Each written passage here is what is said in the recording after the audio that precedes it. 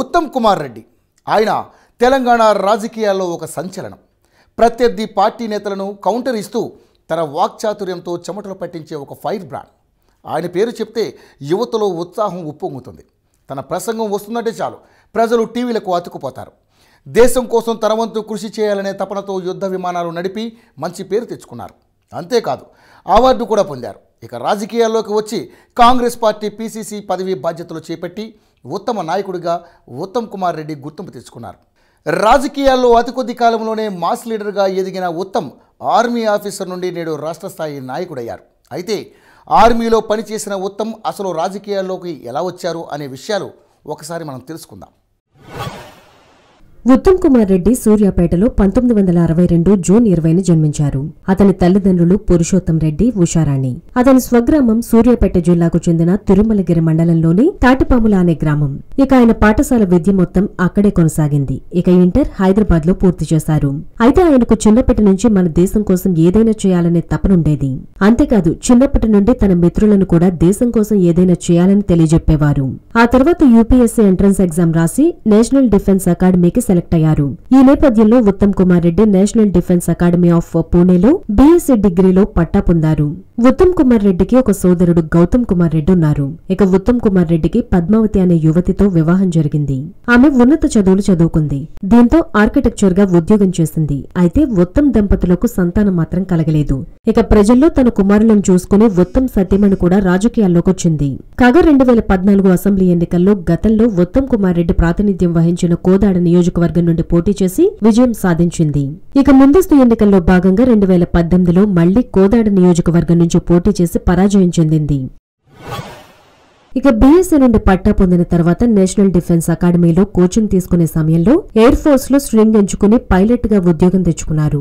దీంతో పంతొమ్మిదేళ్ళ వయసుకు భారతీయ యువసేనలో పైలట్ ఆఫీసర్గా క్లాస్ వన్ గెజిటెడ్ ఆఫీసర్గా పదవి బాధ్యతలు చేపట్టారు. ఈ నేపథ్యంలో పాకిస్తాన్ బోర్డర్ వద్ద రాజస్థాన్ జమ్మూ కాశ్మీర్ పంజాబ్ గుజరాత్ ప్రాంతాల్లో దాదాపు ఆరేళ్ళు పనిచేశారు.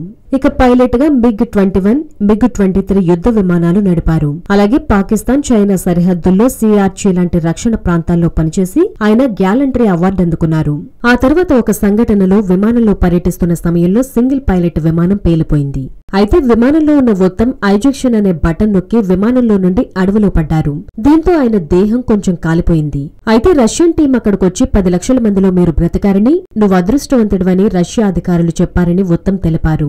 కాగా ఆ ఘటనలో ఆయన బ్యాక్ బోన్ విరిగింది. ఆ తర్వాత ఆరు నెలల పాటు ఆసుపత్రిలో చికిత్స పొందారు. ఇక ఆయన ఆరోగ్యం కుదటపడింది. ఈ నేపథ్యంలో మళ్ళీ దేశం కోసం పనిచేయాలనే ఉద్దేశంతో తన తల్లిదండ్రులు వద్దన్నప్పటికీ ఉత్తమ్ మాత్రం ఉద్యోగంలో చేరారు. ఈ తరుణంలో కొంతకాలం యుద్ధ విమానాల పైలట్గా చేశారు. ఆ తర్వాత కొన్ని రోజులకు తన మిలిటరీ సర్వీస్ నుండి సివిల్ సర్వీస్ ఐఏఎస్ ఆఫీసర్గా ఉద్యోగమిచ్చారు. ఈ క్రమంలో ఉత్తమ్ కుమార్ రెడ్డి రాష్ట్రపతి కార్యాలయంలో ప్రోటోకాల్ అధికారిగా పనిచేశారు.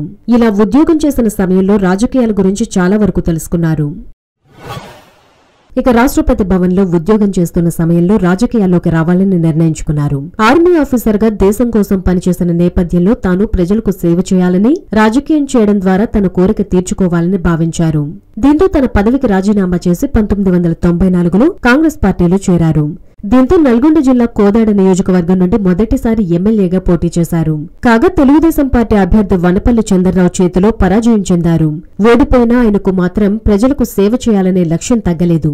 దీంతో నియోజకవర్గంలో సమస్యలను తెలుసుకుని ప్రభుత్వం దృష్టికి తీసుకెళ్ళారు. ఈ తరుణంలో ప్రజల్లో ఉత్తమ్ అంటే మంచి అభిప్రాయం ఏర్పడింది. ప్రజల నాయకుడిగా పేరు తెచ్చుకున్నారు. ఇక పంతొమ్మిది వందల తొంభై తొమ్మిది అసెంబ్లీ ఎన్నికల్లో కాంగ్రెస్ పార్టీ తరపున రెండోసారి కోదాడ నియోజకవర్గం నుండి బరిలోకి దిగి టీడీపీ అభ్యర్థి వనపల్లి చంద్రరావుపై భారీ మెజారిటీతో ఘన విజయం సాధించారు.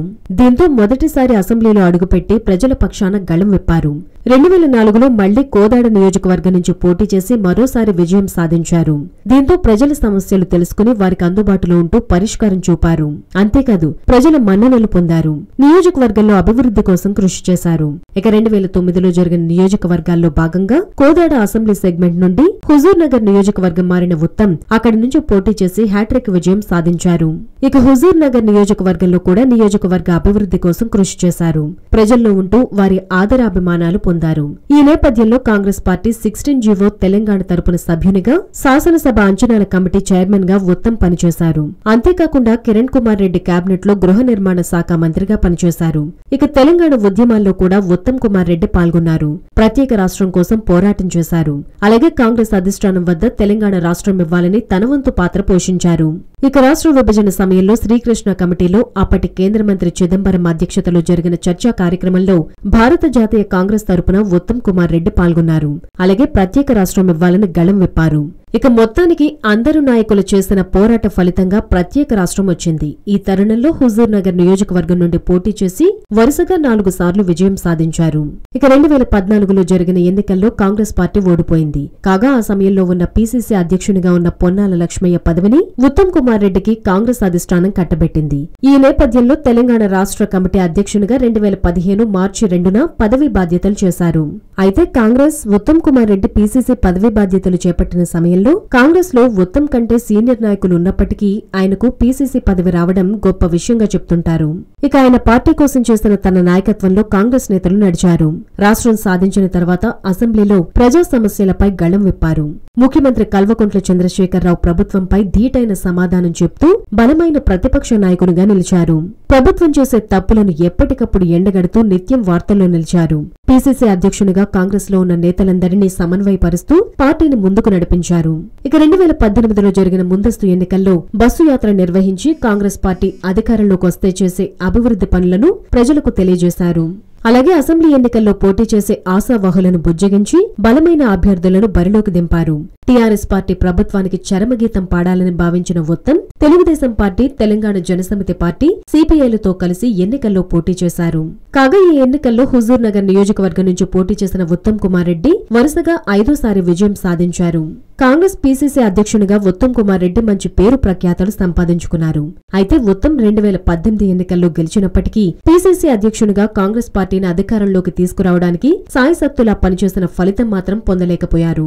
దీంతో పీసీసీ పదవి నుంచి ఉత్తమ్ను తప్పించాలని చాలా మంది కాంగ్రెస్ నాయకులు అధిష్టానం వద్ద విన్నవించుకున్నప్పటికీ ఏఐసీసీ అధ్యక్షుడు రాహుల్ గాంధీ మాత్రం ఉత్తమ్ కుమార్ రెడ్డిని పీసీసీ పదవి నుంచి తొలగించకపోవడం విశేషం. దానికి గల కారణం మొత్తం పార్టీ కోసం చేస్తున్న విశేష కృషి అని చెప్పచ్చు. మొత్తానికి దేశం కోసం పోరాడిన సాధారణ వ్యక్తి నుండి రాష్ట్ర స్థాయి నేతగా ఉత్తమ్ కుమార్ రెడ్డి ఎదగడం అనేది ఒక గొప్ప విషయంగా చెప్పవచ్చు.